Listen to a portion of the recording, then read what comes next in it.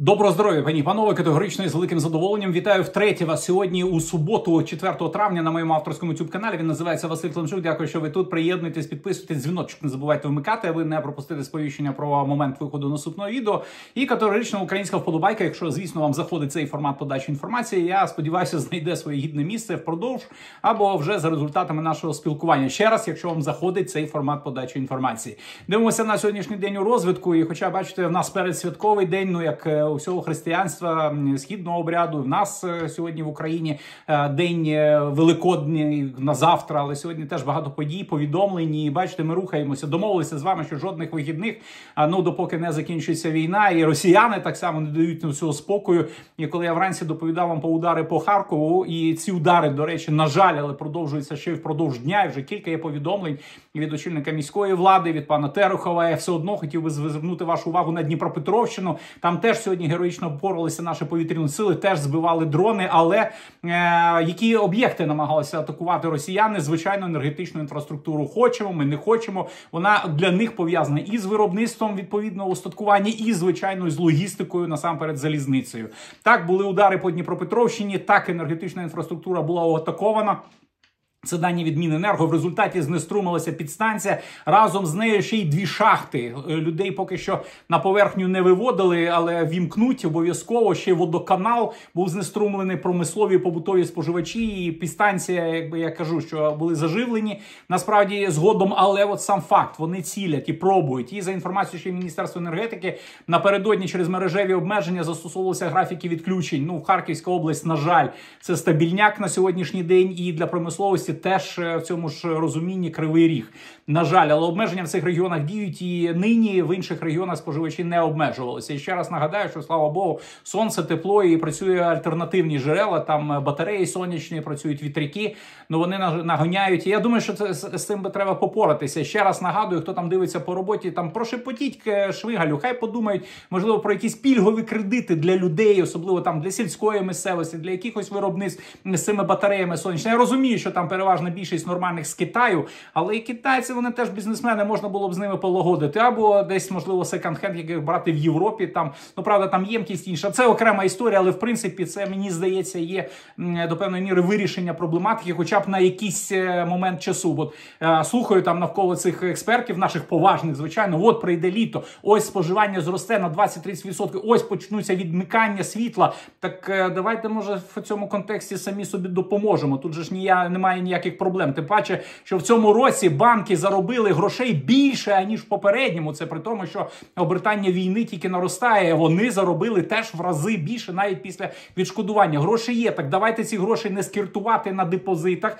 Я маю на увазі великих банківських, а все ж таки якось кредитувати населення якраз в цьому розумінні. Це ж якби нормальна стала система. Я не економіст, там фінансист якоїсь там великого пошибу, але в принципі розумію, що десь це і є пов'язано з е, якимось кроком економіки. Ну не знаю, це як ідея. Подивимося, що з того візьмуть. Так, друзі, по лінії бойового зіткнення ми сьогодні вранці достатньо докладно з вами розбирали.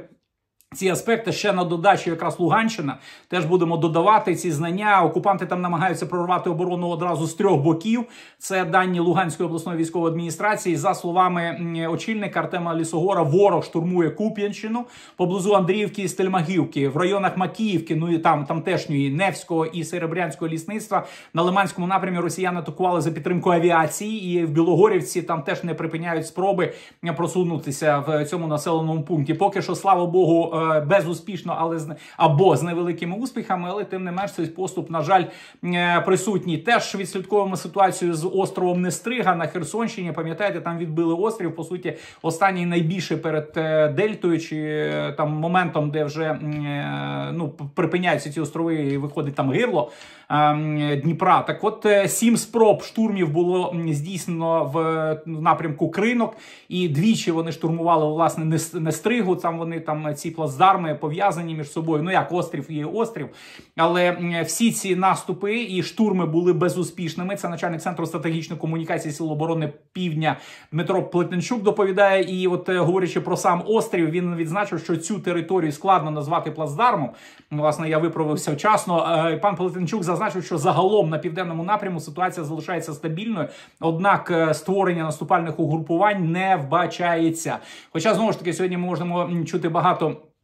Усіляких думок, візій стосовно того, а де, а коли, а як накопичення, а як там північі, можливо, вони на півночі зараз накопичення, щоб ми туди перекинули резерви, а вони самі поїдуть на південь. Сьогодні така ситуація, що в принципі в один момент е, просто без е, якоїсь там секретної типу з секретною підготовкою неможливо накопичити війська. Так що теж е, цю логіку, я думаю, ми би були з вами побачили. Ну ще для них є час, оскільки пам'ятаємо, що якраз е, наступ планує.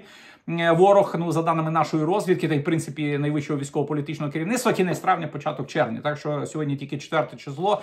Але різні такі моменти є. Не дарма ж, бачите, пан Плетенчук каже, ознак щодо створення наступальних угрупувань не вбачається. Тобто, десь там димочок якийсь е, присутній. Тепер е, щодо можливостей наших, пам'ятаєте, я сьогодні наводив цитату пана Бореля, очільника європейської дипломатії, стосовно того, що якщо ми хочемо, каже, ми європейці хотіли би припинити війну, це можна дуже просто зробити зробити, просто припинити українцям надавати зброю. Два тижні і все якби закінчується. Чи хочемо ми такого завершення війни? Ні, мабуть, ми такого завершення не хочемо, і тому ми будемо постачати зброю.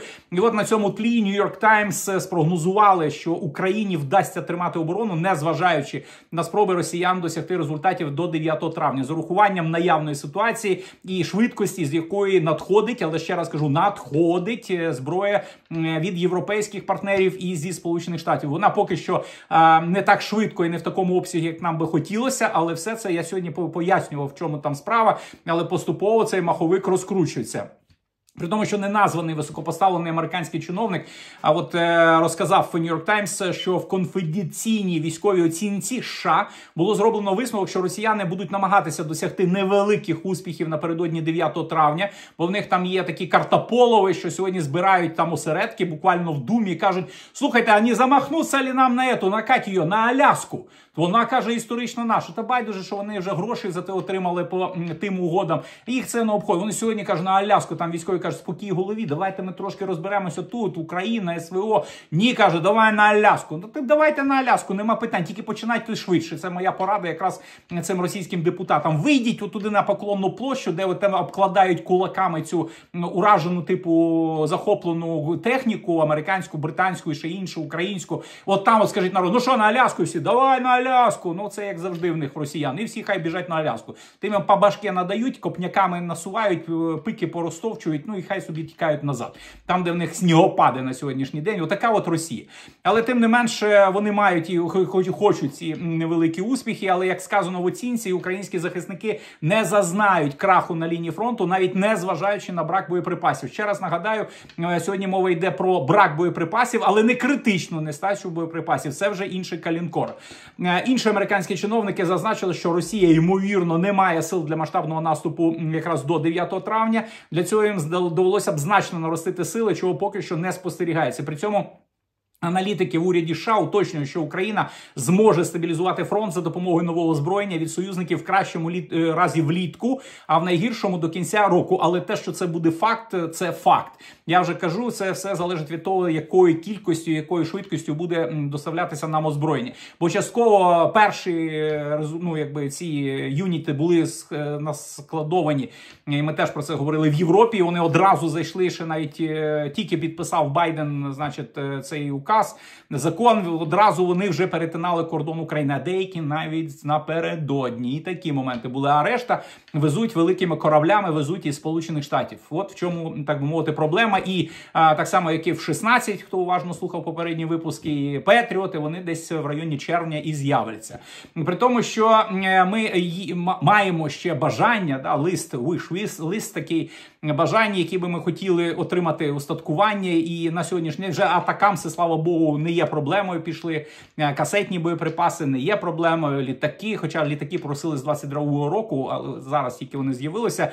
Е, тепер е, видання політико пише, що українці дуже сильно просять американські безпілотники MQ-9 Reaper. Саме вони очолили список от цієї допомоги яку Україна просить у США. Київ планує літні операції, і шукає нові способи для ідентифікації цілей. Тому ці безпілотники стали для Києва ще більше пріоритетними. В Україні і раніше прагнули використовувати такі дрони, але для ударних і спостережних місій це не Байрактар, це трошки якби іншого калінкору, вищого класу. Останнім часом Київ цікавить їх застосування для розвідки глибоко в російському тилу. І політико зазначає, що США, як і раніше, не наважується надати МКЮ 9 Reaper тепер через побоювання, що Росія може їх збити. Ще раз, ці безпілотники це незвичайні безпілотники, навіть якщо от пам'ятати, що це розвідувально-ударні безпілотні апарати, вони розроблені General Atomics Aeronautical System для використання для військово-повітряних сил штатів. ВМС штатів і британських е, власне ВПС. Так, от характеристики, чому би ми хотіли в глибині розвідувати, тому що стеля польоту цього дрона 15 тисяч метрів. Тобто, по суті, 15 кілометрів це е, ну фактично навіть е, ешелони там вище ніж цивільна авіація літає. Автономність 16-28 годин. Вони спокійно могли би долетіти до Уралу ще й повернутися з огляду на дальність їх польоту 1900 кілометрів е, вага палива тонна 300, Уявляєте, це махіна, довжина 11 метрів. 11-метровий футболі, уявляєте, от така довжина цього дрону. 1700 е, кілограмів може на собі нести, е, розмах крил 20 метрів. І максимальна швидкість, ну давайте крейсерська швидкість 313 до 400 кілометрів. Він спокійно може літати, хоча максималка 482 км на годину. Да, це не там Понадзвуковий винищувач, але свою би роботу він виконував а, фантастично. Не сумніваюся, якраз такі системи використовують, до речі, росіяни для спостереження над акваторією Чорного моря. Ми теж таке хочемо. А тепер, друзі, е, стосовно інших моментів, які теж впливають на е, фронт, е, і це якраз така ситуація морально-етична. Ми вже не один раз до неї поверталися, і з оцінкою юристів, і з тим, що говорять власне зарубіжні наші партнери, а, та й в принципі головне управління розвідки, що по цьому не будуть треку хитати. Е, ще раз підводять під ну якби риску під темою пов'язаною з е, виборами президента. Е, президента обирається строком на 5 років, але по їх завершенню це нас в Україні. Я зараз маю на увазі 20 травня. Там е, просто 5 5 років, як президент Зеленський увійшов на посаду, і типу це 5 років повинен бути інший президент. Але очільник ЦВК, от е, давайте так, щоб знову ж таки, це найперша інституція, яка займається виборами. Пам'ятаєте, Олег Діденко сказав, що по завершенню повноваження голови держави після 5 років не припиняються. Він зазначив, що якщо би ми жили в умовах мирного часу, то вибори сьомого президента України відбулися би 31 березня. Тобто, вже навіть ці терміни закінчилися. А поки йде війна, не можна проводити жодних волевиявлень від е, референдумів до виборів, там до навіть місцевого самоврядування. Насправді в нас його не було і вибори до Верховної Ради. В нас так само, але про них якось не кричали. Да, депутати? Та вони там хочуть самоотвод брати. Відпустіть нас. Якось ми вже нацарювали тут по 100 рублів, так щоб нас ніхто не хапав. Все, пеби всі в банках вам будуть розказувати, як вам родину любіть, яка яка насправді правда, і щоб як е, оті от діячі, які купують собі величезну кількість квартир, не зрозуміло за що, все ж таки доповідали, а звідки е, Лівандос, вибачте, наявний. Тепер щодо е, перспективи по тому по результатам роботи верховного головнокомандувача і його команди насправді, але ця команда так чи інакше впирається в певну стелю, яка називається наші міжнародні партнери. Ми про це так само багато говоримо. І е, серед інших партнерів є блок НАТО, там і так, і інакше, але слава Богу, для того, щоб вони трошки рухалися. Я не кажу, що це добре, але якщо б росіяни не мучили їх там всередині НАТО на території їх країн, можливо, вони би інакше ставилися зараз до навали російської в Україні. А так, оскільки вони копняки отримують такі нормальні там то там щось підірвуть, то там якийсь там е, напад зроблять ці хакери, то там якісь наклейки, то маніфестації. Вони ж це все прикають, то страйки цих жовтожильотників, все вони бачать абсолютно. І насправді, от е, речі, які відбуваються всередині демократичної спільноти, яке називається Євросоюз, там НАТО, оці от демократичні інституції, призначення прем'єр-міністрів, одностайність під час вирішення там тих чи інших проблем в тому ж самому НАТО, і все залежить, а не дру товаришують там, дружать з росіянами чи ні. Це як Туреччина, яка відмовилася. До речі, С-300 російські, і всі просять: ну віддайте українцям С-300. Ви ж типу в НАТО, нашу вам російська те ні, ні. Ми поки що це не будемо віддавати. В будь-якому разі НАТО недооцінив здатність Кремля адаптуватися до обставин. Це реляція міністра оборони Литви Лаурінеса Кащуняса. Е, він каже так, що Москва, незважаючи на санкції, перевела свою економіку на військові рейки з огляду на те, що в умовах авторитарного режиму їй не доводиться, особливо турбуватися про соціальний доброту е, свого суспільства. А що суспільство? Їм нормально, горілка, он цукор заборонили, правда? Бачили експортувати з Росії, вивозити цукор, бо цукру треба, аби брага там була і булькало. Видно, з горілкою якось не переливки, складно і дорого. То люди, я вже казав е, вчора, що самогонку женуть, але ви мені що написали? Яка самогонка? Вони на на цьому на рівні браги вже все дудлять і там нічого не залишається. Ну, хоча б там цукру, щоб щось забродило. Да, цукор заборонили вивозити з Росії повністю 100%. Але е, ця помилка і недооцінка, за словами очільника оборонного відомства Литви, виникла через те, що під час спроби зрозуміти Росію, або як ця формула Путін Ферштейн, США і Європа виходили з того, що застосовували західний варіант підходу і критеріїв оцінки стратегії. А ми скільки раз говорили, що це просто навіжений з підворотні Санкт-Петербурга, і він розуміє лише силу. Якщо ви демонструєте свої демократичні підходи, він це розцінює як слабкість. І тоді він робить те, що він хоче, а ви таке, Боже, о, що ви там? Він раз накладе вам на килимок під квартиру, це, Боже, що це? А він другий раз накладе, бо ви в нього те не наляпаєте, чи не вимастите йому пику тим, що він наклав. Він буде класти, поки ви не скажете, може зайдете до мене в хату, от туалет вам. І от отак от воно розкручується. Вибачте за таку аналогію, можливо, хтось. Ну, сподіваюся, що ви не за столом і, і не святковим, так точно. Але відсутність відповідальності за своє суспільство, жорстоке розпорядження своїм власним мобілізаційним потенціалом робить Росію одним з найнебезпечніших супротивників. Міністр зазначає, що альянсу доведеться втілити низку змін, щоб бути бути в принципі готовим до поточних і нових е, загроз, е, зокрема на східному фланзі. І настав етап побутови більш гнучкої системи реагування і стримування, що вимагає виділення більшої кількості повноважень саме регіональним силам силам альянсу. По перше, мінімум каже, давайте збільшувати до 2%, Хоча я скажу, там Трамп і на це не погоджується, і це лише правда нижня межа. Її треба підвищувати. Країнам НАТО доведеться серйозно модернізувати і посилити свій ВПК, а Україну розглядати як інструмент стримування агресії, спрямованої проти Європи і Заходу. а Отже, як елемент є євроатлантичної безпеки і єдності, і зрештою розв'язати питання про членство України в НАТО. Крім того, НАТО слід перестати розглядати протистояння з Росією в парадигмі ескалація, деескалація. Та давайте ми не будемо Україні давати зброю, то буде деескалація. Дзузький сказав Путін. Ну і ще раз наклав на килимок і погнав далі затакувати Авдіївку. Це ж теж було, і вони самі це визнають. Оскільки Кремль розуміє тільки силу, нам необхідно виробити систему активного захисту, що не дає змогу Москві погрожувати підвищенням градусу конфлікту. Хто поки що може дати йому зуби тільки українці? От про що говорить міністр оборони Литви. Звичайно, що не всі поділяють цю доктрину. Звичайно, там хто ще хоче хапанути від росіян. Наприклад, е, Орбан, який мене здивував лише тим, що я тепер не думаю, о, чи угорець він, чи він якийсь у угорський представник іншого етносу. Бо хто може ще про коня вкраденого чи подарованого говорити? Це правда? А от його цитата: Мамо, це не той кінь, якого я хотів. У мене питання: в якому сенсі я хотів коня? Це треба в Орбана спитати, звичайно, тільки він зможе відповісти на це запитання. Так, от е, саме такою фразою він висловився про нинішній стан ЄС.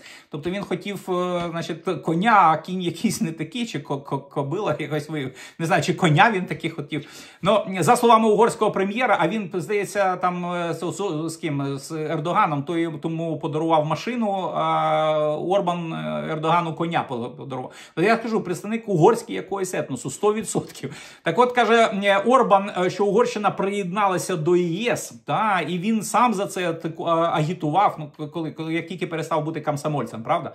Тому що Європа означала мир і процвітання. Зараз же вона в економічній кризі. Які проблеми? Бери коня чи забирай коня і світ за очі на Урал. Там чекають історична батьківщина. Європа, до якої ми увійшли, складала 20 плюс відсотків світової економічної потужності. Зараз ми відкотилися назад. Ну звичайно, з вашими підходами. Ми ж знаємо, що угорська економіка економіка тягне весь е, блок донизу.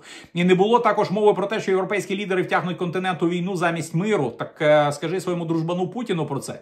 Е, Європа не втягувала нікого в війну. Перше, що варто сказати, оцінюючи останні 20 років, це панове, це не те, про що ми домовились. Правильно, виходьте, не молитесь, зробіть демарш. І каже: мамо, це не той кінь, якого я хотів. Ну так може, це кінь, це мухи окремо, а котлети окремо. Якщо ви хотіли коня, то дайте коня коня, хай та заскоче, скоче на коня, як там повернути насправді. До речі, ще один там є такий адєпт адепт цієї справи. Він правда ще не член Євросоюзу, але вже там кандидат, президент Сербії. Вучич перед візитом е, голови КНДР Сідзіпіна, ви знаєте, що той до Белграда теж поїде, заявив, що Китай є найкращим партнером Сербії в досягненні національних цілей. У мене тільки запитання в цьому зв'язку до Євросоюзу, до Єврокомісії. Вам таки треба, що не ви е, цілі і національних е, Сербії, а Китай. То може якось там трошки загальмувати чи попросити в дипломатичному варіанті пояснити слова, що мав на увазі серб.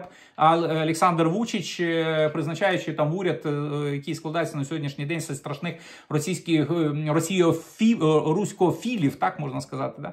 Можливо, йому і не треба в Європу. Але люди так говорять. От вам і як сам міністр оборони Литви, що ми підходимо до цих всіх проблем, якраз з точки зору демократії, демократичних цінностей. Тому є Путін, тому є Орбан, який точно вже розгледів, як використовувати демократичні цінності. І от Сербії Олександр Вучич так само пхає в цьому цьому зв'язку, і ці будуть робити вигляд, що на да, ну напевно, це ж демократія. Хай говорять. Оце прийдуть, розвалять, будуть вам демократія.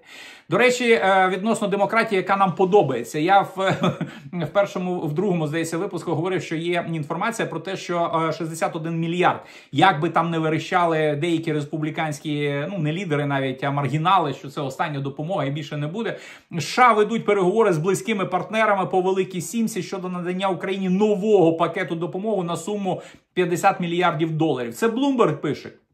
Планується, що ці кошти будуть погашені за рахунок прибутків від активів російського центробанку, які були заморожені на заході після російського вторгнення.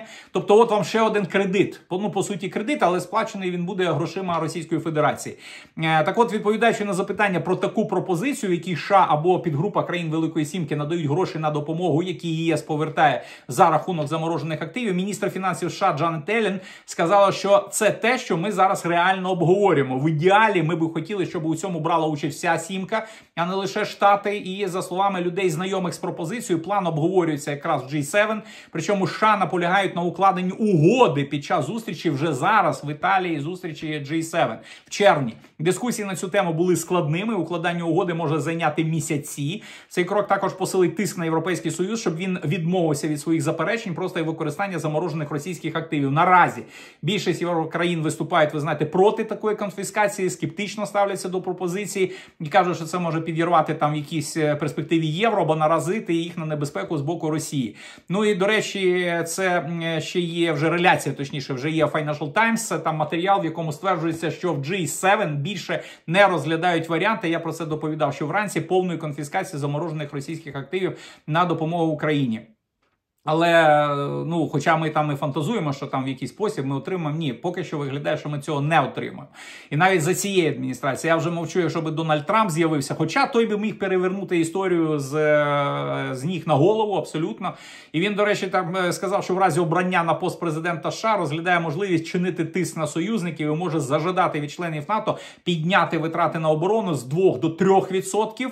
Е, при тому, ну це поки що посилання на неназване джерело близьке до політики, але політика, але не забувайте, що а, президент Дуда зустрічався з Трампом. Пам'ятаєте, і вийшов зі зустрічі там, окрім звичайно, моментів по Україні, казав, ну ми готові до 3% піднімати. А, Міністр оборони Литви сказав, що 2 має бути відсотки мінімум, а так взагалі може бути збільшеним. Та й Трамп, як тільки сказав, що мінімально всі повинні витрачати в НАТО 2% мінімум, інакше ми не будемо захищати як Сполучені Штати Америки цю територію. Всі одразу сказали, у нормально, ми почнемо теж пхати всю цю ситуацію. Давайте два. Хто злякався більше, а хто не злякався і не буде два, ну значить того ми викреслюємо. Якось так ця тема е, виглядає. Тепер, друзі, по грошах і е, по нашим справам всередині країни я вже казав, що сьогодні 4 е, травня і змінилися деякі моменти пов'язані з мобілізацією, пов'язані з ВЛК, там тимчасово там непридатні, придатні. Так, от е, з'явилася фіналізована цифра по утриманню українських військовослужбовців бійці збройних сил України без зброї. Це просто от взяти в армію амуніція і зарплата. Це 1,2 мільйона гривень. Це на рік і просто боєць, це не офіцер, просто рядового складу. Стосовно оборонного бюджету, це заступник міністра оборони Юрій Джигір е, в інтерв'ю Блумбергу сказав, що вартість мобілізаційної кампанії, наприклад, Києва, спрямованої на посилення виснаження військових підрозділів, залежатиме від щомісячного призову, фактору надходження допомоги і рішень щодо ротацій. Пан Жигер також е, сказав журналістам, що Міноборони України співпрацює з американськими колегами, аби усунути їхні занепокоєння щодо того, що українські сили оборони зберігають і розміщують західні е, боєприпаси. Ми тільки вранці сьогодні говорили, що там є така тема пов'язана з е, цьому обліку аудит. Куди йде, як йде, які небезпечення, щоб вони там ворогам не потрапили. За його словами, було проведено шість інспекцій на військових об'єктах, під час яких перевірялося, як зберігаються певні види зброї. І заступник міністра запевнив, що процес перетворився на звичну рутину. Вже ми хвилювалися перший раз, можливо, другий, а зараз вже питань немає. Так само, як і в американців немає питань в тих, хто ем, проводить цей, е, ці, ці дослідження, ці звіти потім пише. Раніше, до речі, прем'єр е, Шмигаль заявив, що е, для утримання одного військовослужбовця пам'ятаєте, що необхідно, щоб працювало вісім українців. Тобто на одного бійця на вісім українців. Де тепер ще один такий момент. Ми весь тиждень згадували. Я просто на прикладі столиці не знаю, як в ваших населених пунктах, бо я бачив, що там пишуть, що в нас взагалі все порожньо. Але в Києві центри комплектування формують черги. І народ іде в черги, кажуть, з п'ятої ранку займають ці чергу для того, щоб пройти там всі необхідні процедури. Але самі в Мінобороні кажуть, ми не розуміємо, що відбувається, чому йдуть, займають чергу в п'ятій ранку, тому що всі територіальні центри комплектування працюють цілодобово. Якщо військовозобов'язаний прийшов до військомату, він закритий, то треба дзвонити на гарячу лінію Міноборони. Це представник генштабу збройних сил України, полковник Глущенко. Також генштабі порадили не стояти в черзі до ЦЦК, а прийти туди пізніше, там о 8, о 9 вечора. Можливо, громадяни таким чином показують свою сумлінність, а можливо, переймаються, що 60 днів буде недостатньо для того, аби потрапити до ЦЦК і оновити свої дані. Якщо ТЦК закритий, необхідно розбиратися, дзвонити на гарячу лінію Міноборони оборони.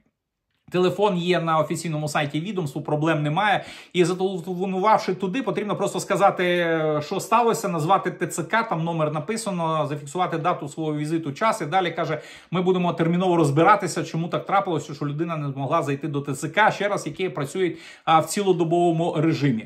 Е, ще один такий момент, е, друзі, е, стосовно підсилення особового складу. Ну в кожного це підсилення відбувається своєю лінією, і центр національного спротиву і наші центри по боротьбі з дезінформацією звертають увагу, що е, зараз Росія планує відправити в зону бойових дій понад тисячу бойових священників РПЦ. Вони за задумом керівництва цієї структури будуть надавати духовну допомогу російським окупантам, що вбивають людей на території чужої країни. Ну, по факту, так воно виходить. Питання е, розраховують у РПЦ буде вирішено найближчим часом. Адже оця церква їхня має тісні, як ми знаємо, зв'язки з Міноборони. Е, з метою е, духовної допомоги російським військовослужбовцям, це за повідомлення ще раз центру національного спротиву в РПЦ збираються відправити на передову Україну близько 1300 священників. Ну теж в лапках, бо вони всі будуть з автоматами, все як має бути. Е, це в одному з ефірів пропагандистських розканалів заявив так званий митрополит Ставропольський і невинномиський Кирило. Ну не той, що Кирило. Зараз ми про того Кирила теж поговоримо. Московський піп запевняє, я цитую зараз, московський піп запевняє, що сьогодні Міністерство е, оборони Російської Федерації має дуже тісні зв'язки з російською церквою, і це питання вирішиться найближчим часом. І так воно насправді є. Адже відомі факти про те, що глава Кремлівської церкви Патріарх Кирил є е, КДБшником по клічці Михайлов і має генеральське звання ФСБ Росії. Його попередник, е, я я просто щоб е, порівняти, бо колись це вважалося жартом, хоча цей жарт весь ґрунтується на таких реальних діях. Пам'ятаєте? На Дірібасовське хороша погода, а в Брайтон Біч опять йдуть дощі. Це коли там вони приходили і провіряли агентуру, прийшов дійсно піп, каже, ти там лейтенант такий, то да, якщо там, там а він в рясі, все каже, да, є, там розгортають. Було як гумор, а на, на, насправді це теж е, якби вже відомі факти і секрет Поличинелі, що вони всі мають звання, всі працюють е, на КДБ, а тепер на ФСБ. Тому, якщо він Михайлов, ну Михайлов генерал, значить генерал, ну все ж таки там типу патріарх, та? а його попередник Олексій другий Олексій Рідігер також був агентом КДБ під псевдонімом Дроздов. Е, отак каже центр національного спротиву і додають, що на підконтрольні релігійні структури Кремль своїх агресії проти України робить дуже велику ставку. І чільне місце в цих планах безумовно посідає РПЦ, що як зазначають в центрі за часи свого існування створили потужну мережу в Україні, стало ідеальним інструментом для провивки мізків своїх пригажан. Це, до речі, інформація для народних депутатів, особливо очільників Верховної Ради України, які все розказують, як вони довго і ретельно вивчають відповідний документ пов'язаний пов'язаний з організаціями, що в свою чергу пов'язані з Росією, з Москвою, і в тому числі десь із церковними справами, довго вивчає юридичне управління е, цього Верховної Ради чи апарату там Верховної Ради. Тому що знаєте, як це в злочині, можливо, затягнеться, можливо, розсмокчеться, а можливо, десь відійде. Ми не хочемо, боїмося, ми соромимося нам перебиратися. Хай наступна каденція Верховної Ради з цим розбереться. От якось так мені виглядає. Я можливо і помиляюся, і дай Боже, щоб я помилявся. Але маємо те, що маємо. Так само, як і е, речі пов'язані з вірою, ну вірою не церковною, а вірою в свої сили, вірою в те, що вони якимось чином окремі, але громадяни країни. І тут мені здається, що ну владі би можна було б трошки ретельніше. Ну я не буду давати поради, але просто констатую факт. Але маю право правда сказати свою точку зору. А ви висловіть свою до речі в коментарях. Можливо, ви не будете зі мною погоджуватися. Це тема пов'язана з ромами із ТЦК е, в місті Виноградів. От зараз широко є це відео по мережі. Воно ходить. Група ромів, е, це Берегівський район, заблокувала виїзд з місцевого ТЦК. Конфлікти з співробітниками центру комплектування завершився навіть стріляниною. Там на відео це все видно. І от е, за тою інформацією, що роми там розказують, ну це місця компактного їх проживання. Представники ТЦК хотіли мобілізувати їхніх односельців, яких е, вранці просто зупинили на місцевому ринку, повидавали їм повістки, і ввечері по них проїхали, бо ті не прийшли. Як стверджують жителі села, чоловіки хворі і не можуть бути мобілізовані мільйоні. А довідки є, так е, у всіх є, по всій країні є. І всі навіть там е, з онкологією мають іти на ВЛК. Такі ж правила. Так я ж кажу, в чому ж якби унікальність. На знак протесту Роми почали зносити до будівлі ТЦК шини і підвозили пошкоджені автівки типу те, щоб спалити. Згодом в ході сутички біля будівлі ТЦК пролунали постріли. А в поліції Закарпатської області заявили, що їх здійснили співробітники ТЦК з метою попередження, е, значить, порушення громадського порядку. Загалом в хуліганстві звинувачують 10 людей. Їм погрожує до 7 років в'язниці. Саме так відреагували в поліції Закарпаття на конфлікт ТЦК і Ромів і заявили, що орієнтовно 10 осіб е, чинили ці е, дії хуліганські. Е, так власне вони заарештовані і буде суд. Так що я кажу якось ретельно, але цей суд має бути судом. І якщо вже там по всій країні доводити, то хтось не не повинен бути правильнішим чи неправильнішим, бо завтра всі почнуть зносити е, ці шини під е, паркани. Ну, якось так мені виглядає. Якщо не погоджуєтесь, ще раз кажу. Був би радий ознайомитися з вашою доктринальною точкою зору в мене в коментарях. Друзі, і е, в контексті та Закарпаття, як і, наприклад, кілька областей на заході України зараз вже входять в британську, наприклад, жовту зону, і там плюс-мінус можна їздити е, там бізнесменам, бо там все ж таки ситуація не така, як на Харківщині, Дніпропетровщині, Донеччині, Луганщині, на Запоріжжі, Запорізькій області, абсолютно не така в Херсонській області, в Миколаївській області.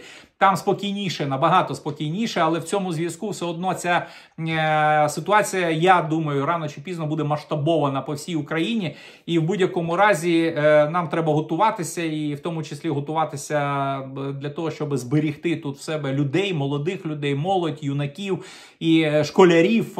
Уряд України виділив мільярд гривень на закупівлю шкільних автобусів. Це дані від Міністерства освіти і науки. Постанова передбачає розподіл коштів із державного бюджету на закупівлю автобусів для закладів загальної середньої освіти всіх областей, які цього потребують. Пріоритет на отримання державного фінансування отримують регіони в зоні ведення бойових дій прикордонні області, а саме Харківщина, Дніпропетровщина, Миколаївщина, Одещина. Вибачте, не назвав Одещина, Сумщина теж не назвали. Ось вона є Херсонська і Чернігівська області. Дуже би хотілося в цьому зв'язку тим, хто дивиться про роботі, проконтролюйте, будь ласка, щоб наші жевжики, які вміють лямзати по 20 мільйонів з вікон в Ірпіні, там чи в якихось там інших в Ірпені, вибачаюсь, там своя історія в Ірпені, в Бородянці, да, там, де злямзали 20 лямів на а, вікнах, а двері там по 4 рази передавали, щоб відновити житло. Наше вміють. Так що, щоб не закуповували якісь білоруські автобуси на литовському, умовно кажучи, ринку. Я умовно кажу, щоб не було тут ніяких мазів, не було тут камазів і білазів. Та й взагалі в нас виробництво своє є. От мені здається, що варто би, щоб ці гроші були а, виділені українським виробництвом. Якщо ми там пхаємо цю тему зроблено в Україні, то нехай ці. Е, автобуси були будуть зроблені в Україні, будуть погано їздити, то нехай там треба так укласти ці угоди, щоб виробники ремонтували чи своїм коштом щось інше було купували. Але в принципі це на сьогоднішній день нам дуже важливо, щоб запустити українську економіку. А не так як в Києві в нас закупили турецькі автобуси. Да, всі по це ми зрозуміло, дякуємо Туреччині. Але чому не можна щось зробити в інших місцевинах, де є в нас автобусне виробництво на сьогоднішній день? От величезне питання. Я вже мовчу про те, що ці автобуси давно вже слід було перевести на електротягу. Теж на сьогоднішній день. Ні, в нас звичайно треба солярочку, бо це акцизи, це теж бюджет міста піде, і автобуси підуть, і акцизи підуть. І ще будемо розповідати про е, чистоту повітря там в наших містах, зокрема в Києві. Да, Буде солярочкою пахнути. Солярочка там що там, євро 6. Хоча які там євро 6, автобуси точно євро 6 не будуть. Ну це до слова. Просто хто дивиться по роботі, але тема хороша для школярів. Автобуси те мега. Е, тепер по дорозі, якщо ми залишаємося, я вже казав, що з сьогоднішнього дня там друзі, не забувайте на е, взагалі навіть в місті, е, тобто ну, ходові вогні є, але за містом ви маєте і зараз, і влітку вмикати ближнє світло фар. Ну так як в принципі в скрізь в світі є ходові вогні, як я було е, ці ближнє світло. До речі, на дорогах я щось за за, за містом особливо не бачив, щоб ну в кого більш старіші машини, щоб вмикали ближнє світло. І ще одна новація: це для тих, хто там. Вчить е, людей їздити, ну цих ученіков, да, як ми кажемо, учень їде, да, то треба тренувати. То тепер е, там повинно бути не У літера, а Н або H. Е, автошколи в Україні або H, як от, ну так, да, німецькою, хто яку мову знає. Автошколи в Україні змінюють маркування для навчання. В сервісному центрі МВС повідомили, що з сьогоднішнього дня, з 4 травня, в правилах дорожнього руху термін учбовий транспортний засіб змінюється на навчальний транспортний засіб. От тому і Н буде написано.